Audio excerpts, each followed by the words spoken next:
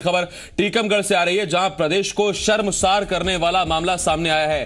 तीन दिन पहले कार्यक्रम में मुख्यमंत्री शिवराज सिंह चौहान को माला पहनाने वाले दलित सरपंच की गाँव के दबंगों ने जमकर पिटाई कर दी है। 28 अप्रैल को सीएम शिवराज सिंह चौहान टीकमगढ़ के पुछी करगुआ गाँव गए थे, जहाँ सरपंच ने उन्हें माला पहनाकर उनका स्वागत किया था। दबंगों को यह बात नागवार गुजरी और दलित सरपंच की जमकर पिटाई कर दी गई। ये बड़ी खबर इस वक्त हम आपको बता रहे हैं, और उन सरपंच का आप इस वक्त चेहरा भी देख रहे हैं। तस्वीरों में हम आपको दिखा रहे हैं और उनका कसूर सिर्फ़ इतना था कि उन्होंने सीएम को माला पहनाई। वो दलित हैं और इस वजह से गाँव के दबंगों ने उनकी जमकर पिटाई की है।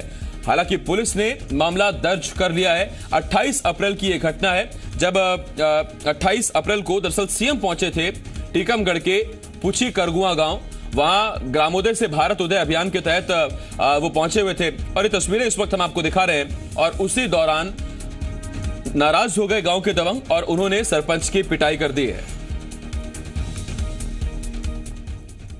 और कल सीएम साहब आए थे तो हम लोग तो नीचे बैठे रहे, और साले तो मित्र हो के वो मंच पे पहुँच गया सीएम साहब की माल्यार्पण की। और साहब ऐसे कि हमने कही कैसे हमको कलेक्टर साहब ने बुलाया था इसलिए हम मंच पर पहुँच गए। और नहीं तो हम अपने आप थोड़ी जा सकती थी। सो बोले कल्ला के तेरी इतनी हिम्मत के हम लोग तो बैठे थे नीचे और तू मंच पे पहुँच के वो सीएम साहब को माल्यार्पण की स्वागत किया। और बस जे उनने कहा साहब हरिचंद्र नायक ने। और बस इन्हीं शब्दों को लेते हुए जाति सूचक शब्द मान लो गाली गलौज करते हुए सब लात घूसों से मारपीट की गई। हमको लोगों ने यहाँ भीड़ भाड़ तो थी, सो बीच बार काव करने लगे, सो उन्हीं भीड़ भाड़ भीड़ भाड़ में हम खुला खुल के अपने निकल के यहाँ से भाग गए। तो सुना आपने, गाँव के दबंगों को नाराज़गी इस बात पर थी कि हम लोग तो नीचे बैठे हैं तुम मंच पर पहुंचकर कैसे सीएम का माल्यार्पण करने पहुँच गए? और सरपंच बता रहे हैं कि दरअसल कलेक्टर ने उन्हें आमंत्रित किया था तो वो मंच पर पहुँच गए थे। आरबी सिंह परमार, जी मीडिया संवाददाता, इस वक्त टीकमगढ़ से इस बड़ी खबर पर हमारे साथ जुड़ रहे हैं। आरबी, बहुत ये बड़ी खबर है। 28 अप्रैल को जब सीएम टीकमगढ़ के पुछी करगुआ गाँव पहुँचे थे तो उस दौरान जो कार्यक्रम का नाम था, वो था ग्रामोदय से भारत उदय। एक सरपंच जो दलित है, जो चुना गया है, जो जनप्रतिनिधि है, उसकी दबंगों ने पिटाई कर दी। क्या ऐसे होगा ग्रामोदय से भारत उदय? आसिफ जी आपको बता दूँ कि 28 अप्रैल को टीकमगढ़ ज़िले की निवाड़ी तहसील के पुछी करवा गाँव में ग्रामोदय से भारत उदय कार्यक्रम आयोजित किया गया था हम्म। जिसमें मुख्यमंत्री शिवराज सिंह चौहान उपस्थित हुए उस दौरान कलेक्टर ने मंच से गाँव पंचायत के सरपंच और सचिव को आमंत्रित किया कि वो आकर मुख्यमंत्री का स्वागत करें हम्म। कलेक्टर के निर्देश पर गाँव के सरपंच अलख वाल्मीकि मंच पर पहुँचे पहुँचे और मंच पर पहुँचने के बाद उन्होंने उनको माल्यार्पण कर स्वागत किया। सीएम साहब ने भी खड़े होकर उनका अभिनंदन अभिवादन किया। इसके बाद यह बात गाँव के दमंग लोगों को रास नहीं आई, क्योंकि दमंग लोग मंच में नहीं थे, दमंग लोग नीचे बैठे थे, कुर्सियों पर बैठे थे। इसी बात से नाराज़ होकर गाँव के दमंगों ने सरपंच को अगले दिन जमकर मारपीट की और कहा कि, दलित, तू दलित होने के बावजूद मंच पे कैसे बैठा और हम लोग यहाँ बैठे रहे? और उसकी जमकर पिटाई कर दी। जी, सर।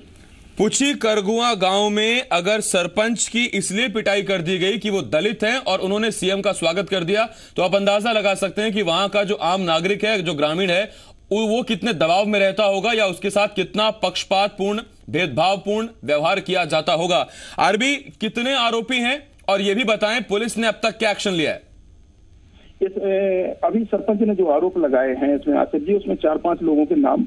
बताए गए हैं। और पुलिस ने आ, इस आवेदन को लेकर जाँच में ले लिया। अभी प्रकरण दर्ज नहीं हुआ है। पुलिस का कहना है कि इस मामले की जाँच की जा रही है और जाँच के बाद जो तथ्य सामने आएँगे उसके बाद कार्रवाई की जाएगी। आसिफ जी। बहुत शुक्रिया। आरबी सिंह परमार जी मीडिया संवाददाता इस वक्त इस बड़ी खबर पर हमारे साथ जुड़े हुए थे। तो देखिए आप यहाँ से अंदाज़ा लगाइए पूरे देश में गाँव का उदय हो और क्योंकि आधे से ज़्यादा आबादी ग्रामीण इलाकों में रहती है तो जब गाँव का उदय होगा तो देश का उदय होगा, भारत उदय होगा, और अभियान का नाम दिया गया, ग्रामोदय से भारत उदय। लेकिन आप देखिए कि पुछी करगुआ गाँव में सीएम एक कार्यक्रम में पहुँचे, ग्रामोदय से भारत उदय अभियान। पीछे आप बैनर भी देख सकते हैं। ग्रामोदय से भारत उदय अभियान का बैनर लगा हुआ है। सीएम वहाँ मौजूद थे। उस दौरान जो ज़िले के कलेक्टर हैं टीकमगढ़ के, उन्होंने आमंत्रित किया गाँव के सरपंच को, पुछी करगुआ गाँव के सरपंच को और सचिव को कि वो आकर सीएम का स्वागत करें, इस्तकबाल करें और उनके अभिनंदन में खुद सीएम भी खड़े हुए। उनका स्वागत सत्कार हासिल करने के लिए और उनसे हाथ मिलाकर उनका अभिवादन भी स्वीकार किया।